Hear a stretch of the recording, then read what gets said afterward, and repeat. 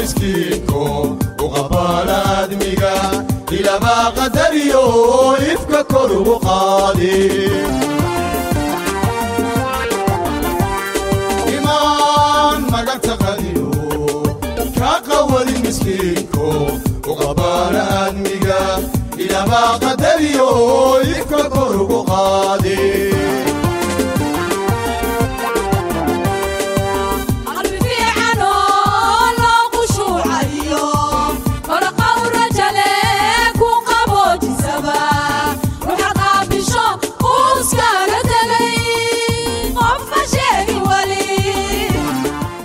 madaxweynaha dalka kenya william ruto ayaa habeennimadii sabtidii ee tobankii bisha juulaay sanadkan labada kun saddex labaatan ku soo gaadhay jamhuuriyadda jabuuti booqasho rasmiya oo qaadatay muddo siddeed afartan saaco. Ra'iisul wasaaraha jamhuuriyadda jabuuti mudane cabdulqaadir kaan maxamed ayaa si diran ugu soo dhoweeyey garoonka caalamiga ee diyaaradaha ee jabuuti madaxweynaha dowladda kenya william ruto iyo wafdigii ku welinayay booqashadaasi waxa uu joogay wasiirka arrimaha dibadda iyo iskaashiga caalamiga fayeenka xukuumadda jabuuti mudane maxamuud cali yuusuf xogayaha guuda xafiiska ra'iisul wasaaraha mudane nagiib cabdalla kaamil danjiraha jamhuuriyadda jabuuti u fadhiya dalka kenya mudane yaasiin cilmi buux iyo safiirka dowladda kenya u jooga jabuuti madaxweynaha dowladda kenya william ruto ayaa horkacaya wafdiga muhiimka ahaa oo kale ahaa wasiirka arrimaha dibadda iyo qurbo joogta doctor alfred mutua wasiirka gaashaandhigga mudane aadan ducaaley la taliyaha ammaanka qaranka madam monika juma iyo agaasimaha xafiiska madaxtooyada ee kenya musiye josephat nanok. Waxaana booqashadaasi ay ahayd tii ugu horraysay ee ku yimaado jabuuti. Tan iyo markii loo soo doortay jagada madaxweynenimo ee dalka kenya intaasi kadib ra'iisul wasaaraha jamhuuriyadda jabuuti mudane cabdulqaadir kaan maxamed iyo madaxweynaha dowladda kenya william ruto ayaa kulan gaaban ku yeeshay qaybta wufuud sharafta ee garoonka caalamiga ee daradaha ay ku yaallaan magaala madaxda jabuuti.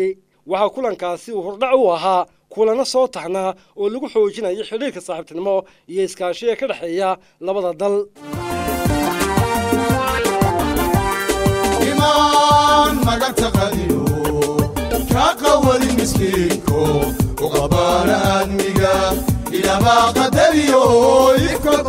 imaan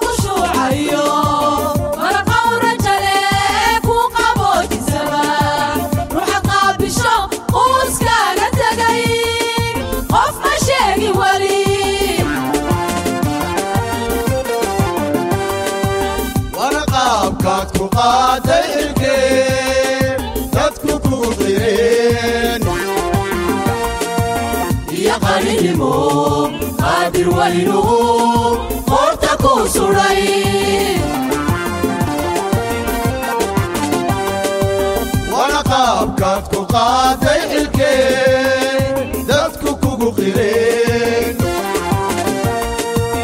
iyo qaninimo qaadir waynu qoorta kuu sudhay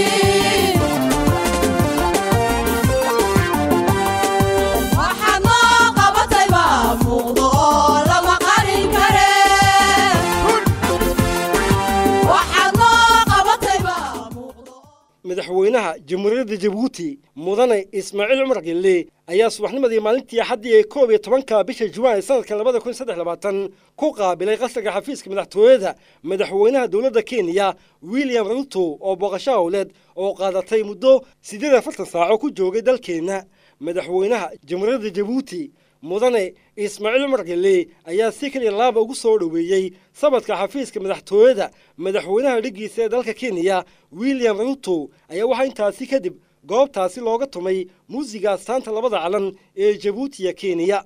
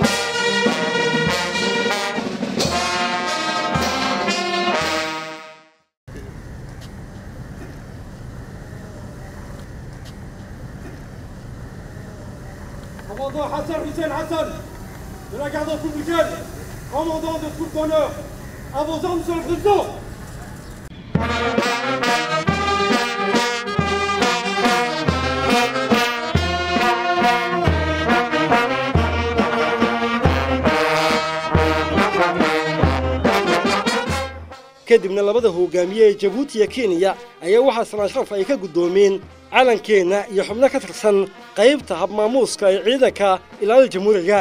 Madaxweynaha dowladda dalka kenya ayaa si heer saraa loogu soo dhoweeyey qasriga madaxtooyada booqashada oo ku timiday qaabkii loo sii xoojin lahaa xidhiidhka ee mudnaanta leh ee istaagarsiga iskaashiga iyo saaxiibtinimada oo qayb ka ah dunta taariikhda iyo hirgelinta mowqif midaysan iyadoo loo marayo doorka waara ay xambaarsan yihiin xalinta arrimaha ugu waaweyn ee ajandayaasha qaybtan dunida ka mid a gaar ahaan nabadda iyo xasiloonnida iyo sidoo kale isdhexgalka dhaqaale ee gobolka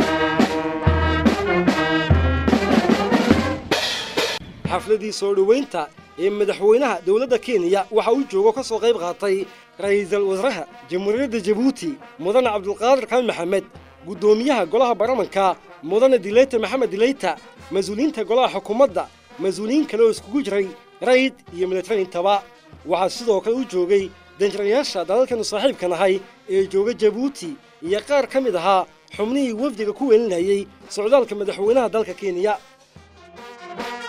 Thank you.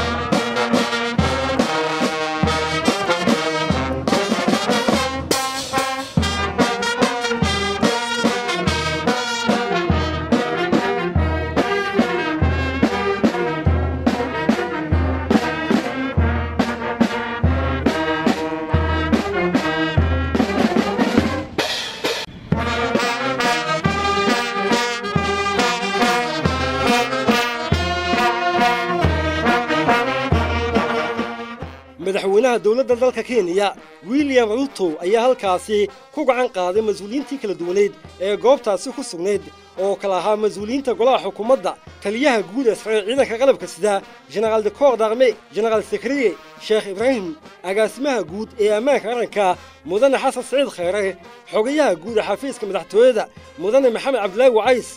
mas'uuliyiinta xafiiska madaxtooyada xogayaha guud ee xafiiska ra'iisul wasaaraha mudane nagiib cabdalla kaamil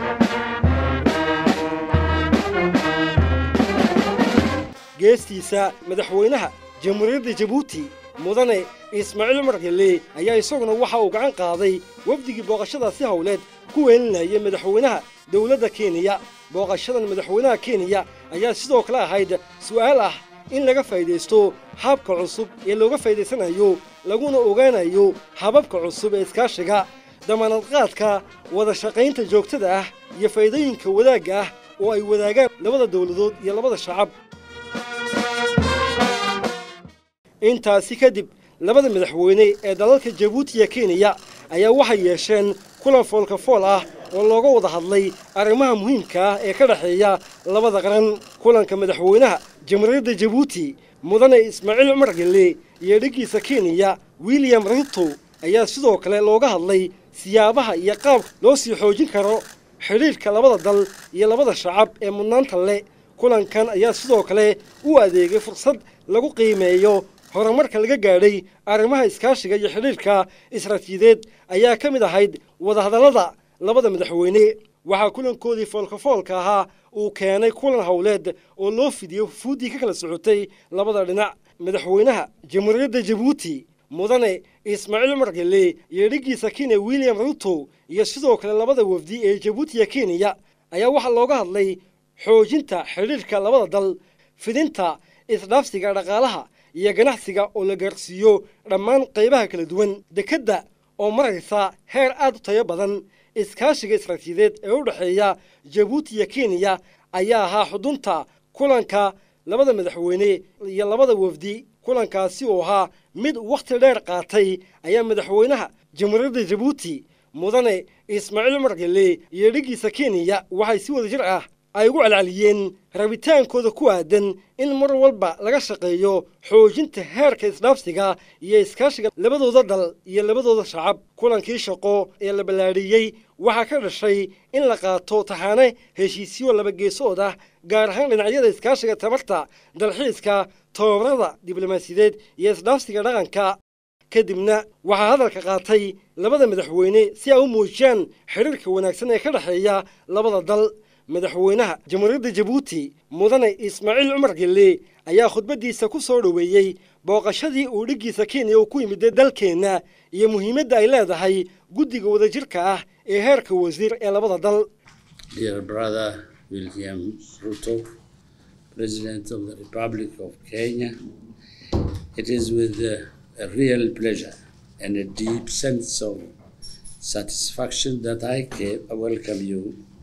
to Djibouti today, as well as your distinguished delegation. walaalkay madaxweynaha dalka kenya william ruto. Farxad weyn ayay ii tahay inaan kugu soo dhoweeyo adiga iyo wafdigaad horkacaysid waxa aan marka hore idin guddoonsiin salaan gacaltooyo oo aan idinka sido shacabka jabuuti labadeenna dal waxay wadaagaan cilaaqaad sal adag oo taariikhi ah joogitaanka goobtani waxa ay tahay sharaf ka turjumaysa kana marakacaysa cilaaqaadka walaaltinimo ee aan wadaagno. Aniga oo ka faa'iidaysanaya fursaddan waxaa iga go'an in aan sii wadno iskaashigaan wadaagno ee dhinacyada siyaasadda dhaqaalaha iyo horumarinta bulshada.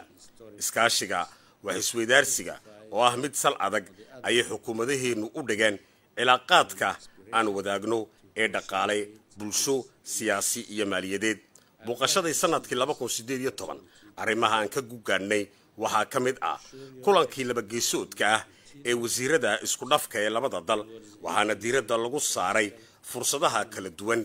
ee ay labada dal heli karaan gaar ahaan iskaashiga dhinaca tamarta geotermiga ee uumiga dhulka hoostiisa ganacsiga gaadiidka tobabarka xirfadaha iyo dalxiiska. Booqashadaadu mudane madaxweyne waxay abaabul iyo adkayn u tahay wadista cilaaqaadka ka dhexeeya jabuuti iyo kenya. Waxaa kale oo booqashadaadu ibafur u tahay iskaashiga waahyo cusub oo ay ka mid yihiin socdaalka gaashaandhigga ilaalada xeebaha garsoorka qodaalka iyo qaar kale.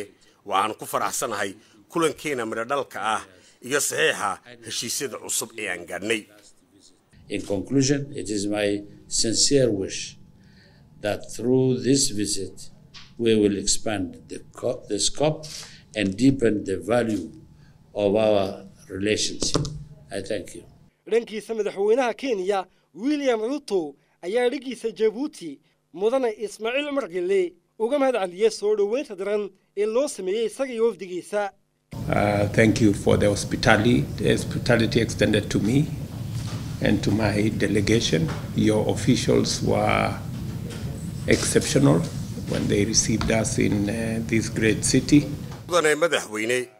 aad ayaan kaaga mahadnaqayaa soo dhoweynta wanaagsan ee aniga iyo wafdigaan horkacayo si weyn ayaan ugu faraxsanahay inaan maanta idinla joogo jabuuti.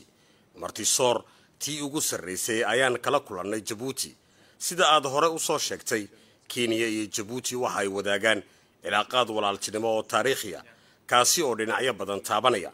Iskaashigaasi waa mid ay afrika guud ahaan u jihaysatay wuxuuna midka labadeenna dal naga dhexeeya yahay kawaara iyada oo ay qayb ka tahay cilaaqaadka walaalnimo ee jabuuti iyo kenya mudane madaxweyne sannadkii laba kun iyo siddeed iyo toban. Heshiisyadii kenya iyo jabuuti ahmiyadda ay ugu fadhiyeen ahmiyad gaar ah ayay ugu fadhiyeen labadeenna dal. Maanta heshiiskaasi waa midho dhal oo muwaadinka reer jabuuti kenya in uu tago ugama baahno qaadashada fiisaha dalku galeenka waana garwaaqsannahay in heshiisyadaasi aan gaadhnay ay dan u yihiin labada dal. Mudane madaxweyne isku socodka dad iyo duuyo ee dhexdeennu waxa ay xoojinaysaa ganacsiga iyo maalgashiga. Waxa aan ku dhiirigelinayaa ganacsatada reer kenya in ay maalgashi iyo wax isdhaafsi ganacsi u dhex maro labada dal ee jabuuti iyo kenya. Mudane madaxweyne aad ayaan kugu mahadnaqayaa in lix boqol oo muwaadiniin kenyaan ah ay jabuuti ka shaqaystaan. Jabuuti iyo kenya waxaa ka dhaxaysa saaxiibtinimo iyo walaaltinimo gaar ahaan waaxda waxbarashada. Kadib kulankaasi howleed ayaa waxaa madaxweynaha jamhuuriyadda jabuuti mudane ismaaciil cumar gelle iyo dhiggiisa dalka kenya william ruto ay wada guddoomiyeen munaasabad lagu kala saxeexday heshiisyo laba geesood ah oo u dhexeeya labada dal inta badan waxay ahaayeen afar heshiis oo kala ahaa dhanka tamarta dalxiiska iskaashiga dhaqanka iyo tobabarka diblomaasiyadeed. Heshiisyadan ayaa waxaa dhanka jabuuti u saxeexay wasiirka arrimaha dibadda iyo iskaashiga caalamiga mudane maxamuud cali yuusuf halka dowladda kenya u saxeexay wasiirka arrimaha dibadda ee kenya alfred mutuya. Booqashadani waxay xoojinaysaa go'aanka labada dhinac ee ah inay sii wadaan dadaalada lagu doonayo in lagu kordhiyo heerka wax iswadaarsiga istaagarsiga iyo iskaashiga labada dal gaar ahaan iyadoo loo marayo hirgelinta heshiisyada isratiideed ee dhinacyada tamarta dalxiiska iskaashiga dhaqanka iyo tobabarka diblomaasiyadda. Waafaqaadda heshiisyadan ayaa ka turjumaya rabitaanka labada dal ee ah inay si weyn u xoojiyaan xidhiirhkooda saaxiibtinimo iyo iskaashi. Jabuuti iyo kenya labaduba waxay si go'an ugu jeesteen inay ka midha dhaliyaan tiro go'an oo ka mida qodobada ay haystaan gaar ahaan dhaqaalaha kuwaasi oo leh muuqaal dhammaystiran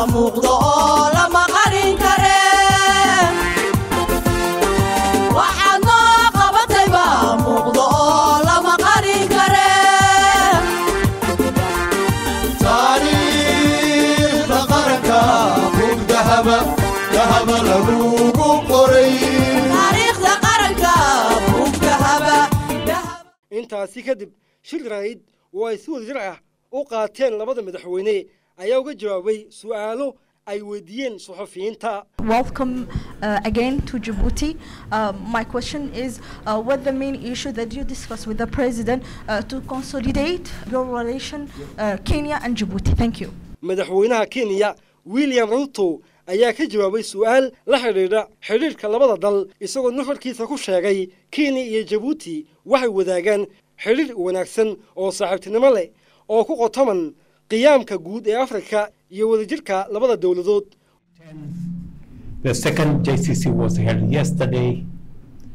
and spoke to many of the areas that are important to Djibouti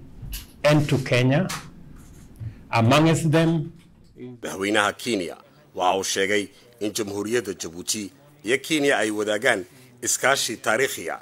iyo in guddiga heer wasiir ee isku dhafka ay meelmariyeen nidaam wanaagsan oo iskaashi. Guddiga heer wasiir ee isku dhafka ee labada dal ee jabuuti iyo kenya waxay tusaale u tahay ka go'naanshaha labada dal ee iskaashi iyo isdhexgal iyo wada shaqaynta dhinacyo kala duwan sida tamarta dalxiiska iyo tababarka xirfadaha فخامة الرئيس آه، هذه القمة يمكن أن نطلق عليها هي قمة السودان madaxweynaha jamhuuriyadda jabuuti mudane ismaaciil cumar gelle ayaa dhankiisa ka jawaabay su'aal uu wariyaha aljaziira uu weydiiyey xaaladda suudaan iyo doorka saddex geesoodka ah ee jabuuti kenya iyo suudaanta koonfureed ka ciyaaraan sidii xabad joojin waarta looga dhalin lahaa dalka suudaan العمل ما ابتداش لسه هيبتدي ان شاء الله بكره نستفيد من القمه ونطرح امام madaxweynaha jamhuuriyaddu waxa uu tibaaxay inay habboon tahay sugista kulanka madaxda xubnaha ka ah urur goboleedka igaad kuwaasi oo ka xog warramaya xaaladda dalka suudaan iyada oo ay jirto aragti midaysan oo ay qabaan urur goboleedka igaad aniga iyo madaxweynayaasha kenya iyo suud suudaan si mug weyn ayaan u darsan u darsaynaa xaaladda wakhti xaadirkan ee dalka suudaan waxaana meel dhigaynaa istaraatiijiyad wanaagsan oo xabad joojin ah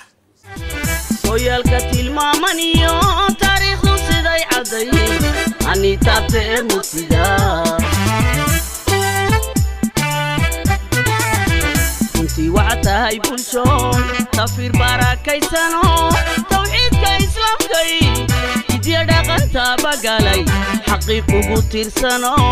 wanaagga ku talax tagtee runtii waxaa tahay bulshooy tafiir baarakaysano tawxiidka islaamka iyo hidya dhaqantaaba galay xaqiiq ugu tiirsano wanaagga ku talax tagtee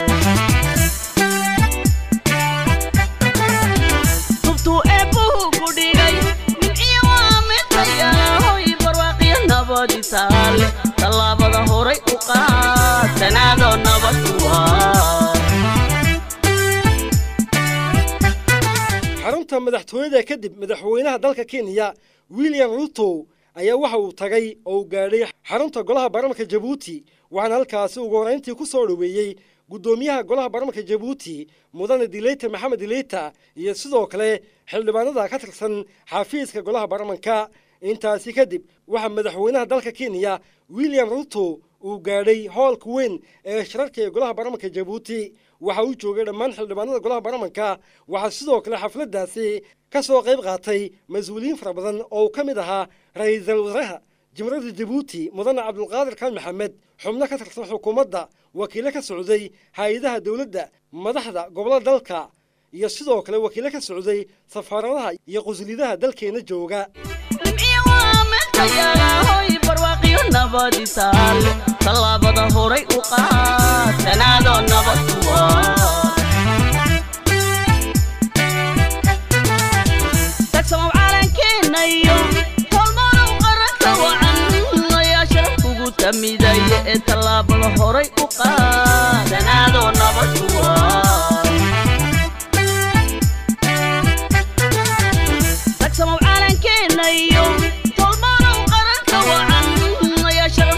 kugu tamidaya ee tallaabada horay u qaad tanaadoo nabad kuwaa adduunku adaniya cidhib hayaba gelin buu ku hayaayay hayaba dabaalaha lagu jabahayo hayaba balaa'iyo turunturada ey hayaba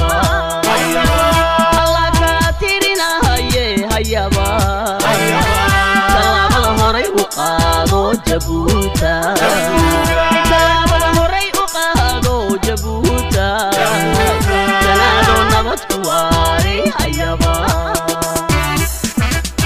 tilmaan aadmigu ku daydyo hayaba taashki nabadda tidaayay hayaba dabkaad u habaysan tahay bay hayaba dunidu soo tiigsataayey hayaba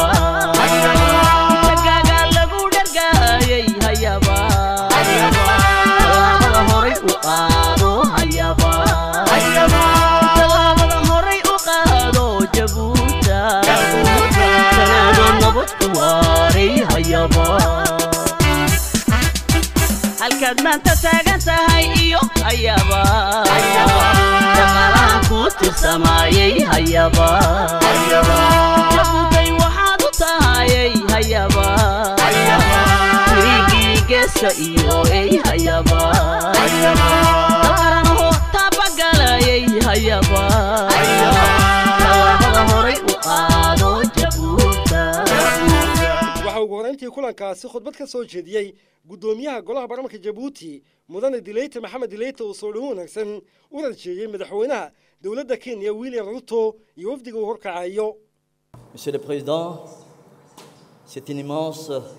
honneur et un plaisir pour moi de vous accueillir et de vous souhaiter la bienvenue sharaf weyn ii ah inaan halkan ku soo dhoweeyo madaxweynaha dowladda kenya madaxweyne william ruto oo booqasho howleed ku soo gaadhay jamhuuriyadda jabuuti waxaa sharaf ii ah anigoo ku hadlaya magacayga gaarka magaca guddoonka golaha baarlamaanka iyo sidoo kale magaca golaha sharci dejinta jamhuuriyadda jabuuti in aan halkan ku soo dhoweeyo madaxweyne william ruto sharaf weyn iyo maamuus ayay u tahay golaha baarlamaanka jamhuuriyadda jabuuti inuu soo dhoweeyo madaxweyne william ruto oo booqasho ku yimid dalkeenna dowladda jabuuti iyo dowladda kenya waxay wadaagaan iskaashi wanaagsan oo taariikhiya kaas oo taabanaya xagga dhaqaalaha ganacsiga iyo sidoo kale siyaasadda isgaarsiinta iyo amniga.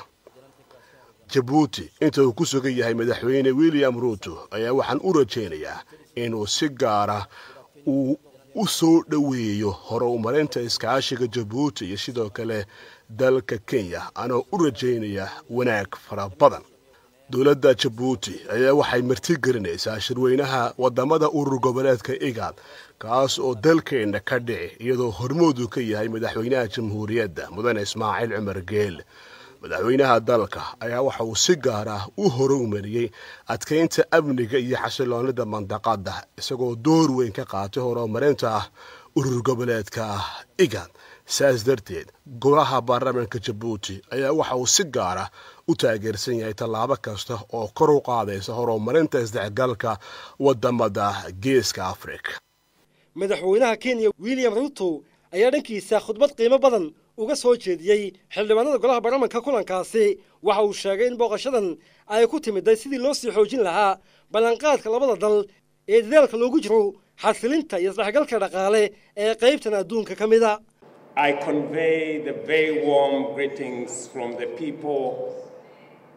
and government of the to this august to the great people of Djibouti. Let me take this opportunity to reiterate before this House the deep appreciation by the government of Kenya and myself for the high compliment from my dear brother, His Excellency President Ismail Omar Gulay, President of the Republic of Djibouti, by his invitation to me to undertake an official visit to this wonderful country and for the warm welcome and delightful hospitality extended to my delegation and I since our arrival yesterday. oo ka faa'iidaysanaya fursaddan qiimaha leh waxaan halkan hambalyo uga soo jeedin madaxweynaha jamhuuriyadda madaxweyne ismaaciil cumar geelle oo ii fidiyey martiqaad wanaagsan waxaan ku hambalyeynayaa madaxweynaha jamhuuriyadda sida wanaagsan ee wii soo dhoweeyey aniga iyo waftigii ballaadhna ee aan horkacayo oo ka mid ah wafdiga booqashada igu weheliya. Mudane guddoomiye guddoomiyaha golaha baarlamaanka jabuuti. Waxaa sharaf ii ah in aan ka hadlo golaha sharci dejinta jamhuuriyadda jabuuti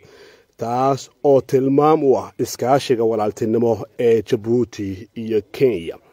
Waayo golaha oo aan ka hadlo ayaa waxa ay qiimo weyn u leedahay aniga dowladda kenya iyo sidoo kale shacabka dalkaasi kenya. Labadeenna dalla waxa uu mar walba u taagan yahay horumarinta cilaaqaadka u dhaxaysa. Lix iyo afartan sanno kadib jamhuuriyadda jabuuti iyo dowladda kenya ayaa waxa ay si gaara u horowmariyeen iskaashiga u dhexeeya gaar ahaan xagga dhaqaalaha ganacsiga kobcinta waxxisaabsiga maalgashiga horumarinta xagga diblomaasiyadda cilaaqaadka ay ka leeyihiin iyo wadaxaajoodka dowli ee u dhexeeya jamhuuriyadda jabuuti iyo dalalka kenya. Waxaana inaga go-an inaannu sii dardargelino cilaaqaadkeenna geesaha badan ee u dhexeeya jamhuuriyadda jabuuti iyo dalalka kenya.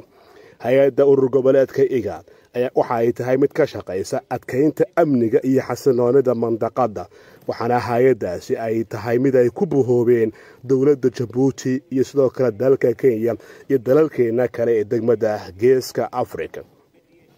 urur goboleedka igaad ayaa waxa uu mudnaan siiyey horumarinta deganaanshaha xasiloonida iyo sidoo kale ka shaqaynta danaha waddamada xubinta ka ah. Waxaa halkan aan si gaara u hambalyeynayaa dowrka dowladda jabuuti ee ku aadan kaalingelinta urur goboleedka igaad iyadoo madaxweynaha jamhuuriyadda jabuuti president ismaaciil cumar geele uu yahay hogaamiye mudnaan dheer iyo mudnaan gaara ku bixiyey in si gaara loo horumariyo hay'adeenna urur goboleedka igaad taas oo si gaara uga shaqaysa danaha wadamadeenna jamhuuriyadda jabuuti iyo dowladda kenya waxa ay yihiin waddamada firfircooni fara badan ku bixiyey asaaska iyo horumarinta urur goboleedka igaad howlaha shaqo iyo hay'adeenna aan u wakiilanay kasokow intaasi waddamada jabuuti iyo kenya ayaa waxaa si gaara ay uga jawaabeen yoolka u yaal qaramada midoobay iyo sidoo kale midooda afrika ee ku aadan adkaynta iyo xasiloonida amniga degmada geeska afrika jamhuuriyadda jabuuti iyo sidoo kale dalka kenya ayaa waxa ay ka mid yihiin howlgalka midooda afrika ee atmis ee nabadeynta soomaaliya iyadoo jabuuti iyo kenya ay ahaayeen wadamadii hindisay in la asaaso ciidamo koofiyad madow ah oo midooda afrika ah kuwaas oo ka qayb qaadanaya xasiloonida iyo nabadeynta soomaaliya. Arrinkaasi ayaa waxa uu ahaa mid si gaara madaxweynaha jamhuuriyaddu uu isagu waqti badan ugu bixiyey waa madaxweyne ismaaciil cumar eh sidoo kale jamhuuriyadda jabuuti iyo sidoo kale dalalka kenya ayaa waxaay iska kaashadaan la dagaalanka argagixisada waddamada geeska afrika si dalalka geeska afrika ay uga jawaabaan yoolka horumarka midooda afrika u yaal waxaana howlgallada kala duwan ee labadeena dal ay fuliyaan ee ku aadan la dagaalanka argagixisada uu yahay mid guulo fara badan aanu ka gaadhnay nabadeynta soomaaliya iyo sidoo kale howlgalka atmisna ayaa waxa uu inoo marayaa meel wanaagsan iyadoo iskaashigeenna aan sii joogtaynayno sidoo kale dowladda jabuuti iyo kenya ayaa waxay iska kaashadaan xaaladaha kala duwan ee abaaraha ee soo laalaamay ee degmada geeska afrika ka jira. Abaaraha kala duwan ee degmada ka dhacay ayaa waxa ay naga galaafteen malaayiin oo ah xagga deegaanka iyo sidoo kale xoolaha waddamada geeska afrika oo saameyn kala kulmay abaaraha soo laalaaman iyadoo sidoo kale dad fara badan ay u dhinteen abaaraha kala duwan ee ka jira degmada geeska afrika. Waxaana arrimahaasi abaaraha la xidhiidha ay ahaayeen kuwo ka yimid saameynta ba'an ee isbeddelka cimilada waddamada warshadleyda adduunka ugu sarreeya ayaa waxa ay si gaara u bi'iyeen deegaanka sare ee adduunka taasoo keentay in saameynta ay kala kulmaan wadano fara badan oo qaaradda afrika. Boqolkiiba toban koboca dhaqaalaha waddamada qaaradda afrika ayaa waxa uu ku lumaa isbeddelka cimilada dhibaatooyinka faraha badan ee qaaraddu ay la kulmayso. Waxaa saas ah inaannu ka shaqayno sidii aan u xoojin lahayn daryeelka deegaanka iyo isbeddelka cimilada ka hortagiisa iyadoo si cilmiyeysan arrinkaasi waddamada urur goboleedka igaad ay uga shaqaynayaan ugu dambeyn waxaan halkan hambalyo uga soo jeedin guddoomiyaha golaha baarlamaanka jabuuti dowladda jabuuti iyo sidoo kale golahan oo si gaar ah u soo dhoweeyay booqashadan ku soo gaadhay jamhuuriyadda jabuuti madaxweynaha dowladda kenya william ruto ayaa waxa ugu dambayntii booqasho ku gaadhay xarunta isgaarsiinta ee shirkadda warisgaarsiinta ee jabuuti telecom ee ku taala xaafadda haramuuse ee magaala madaxda jabuuti xaruntaasi oo ah xarunta isku xidhka khadka isgaarsiinta ee ka hoos gudba badaha ee kable sumaaqaan loo yaqaano booqashada madaxweynaha dalka kenya william ruto waxaa ku weelinayay wasiirka dhaqaalaha iyo maaliyadda mudane ilyaas muuse dawaale waxaa halkaasi ku soo dhoweeyey agaasimaha guud ee shirkadda isgaarsiinta ee jibuuti telecom mudane maxamed casoobe buux intaasi kadib madaxweynaha dowladda kenya william ruto ayaa waxa uu booqday qaybaha kala duwan ee xaruntaasi ay ka kooban tahay isagoo micno faahfaahsan ay ka siiyeen waxqabadka xaruntaasi mas'uuliyiinta shirkadda isgaarsiinta ee dalkeenna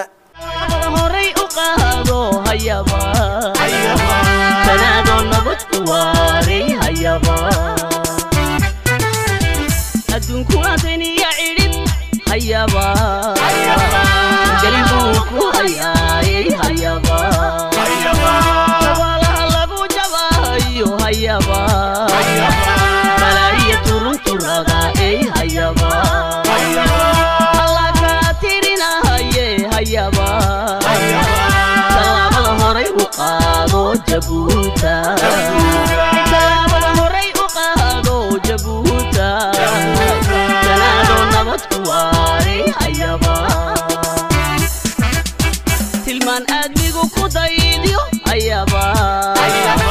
taashki nabadda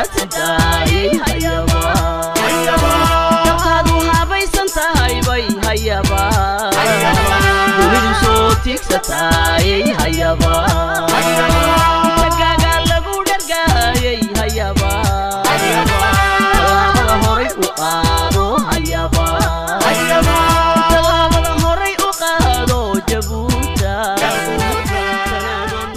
isla maalintii axaddii ee koob iyo tobankii bisha juwaan ee sanadka labada kun iyo saddex labaatan ayaa madaxweynaha jamhuuriyadda jabuuti mudane ismaaciil margille waxa uu dhiggiisa madaxweynaha kenya william ruto iyo wafdigiisii uu qadashrafeed ugu sameeyey qasriga madaxtooyada. Koox fanaaniina ayaa bilow iyo dhammaadkii qadashrafeedkaas heese kaga luqeeyey waxa uu joogay oo ka soo qayb qaatay mas'uuliyiinta labada dal iyo sidoo kale dad ka mid ahaa madaxda bulshada rayidka ah iyo waxgaradka booqashada rasmiga ee madaxweynaha kenya ayaa ku soo aadaysaa si uu mar kale u rumaysto in labada dal ay si deg deg ah u kordhiyaan heerka isdhaafsiga iyo iskaashiga madaxweynaha kenya booqashadiisii rasmiga ahayd ee dalkeenna uu ku joogay waxaa kadibna uu ka qayb galay howlihii shirmadaxeedkii afar iyo tobanaad ee madaxda dalalka xubinta ka urur goboleedka iigad oo maalintii isniintii labaiyo tobankii bisha jumaan ee sanadka labada kun iyo saddex labaatan ka furmay hordheelka kembiski madaxweynaha kenya william ruto ayaa soo gebagabeeyey habeennimadii axaddii booqashada qaadatay muddada siddeed iyo afartanka saacadood ee uu ku yimiday jabuuti tobankii ilaa iyo koob iyo tobankii bisha juwaa ee sanadka labada kun iyo saddex labaatan kadib martiqaad uu ka helay madaxweynaha jamhuuriyadda jabuuti mudane ismaaciil cumar gelle.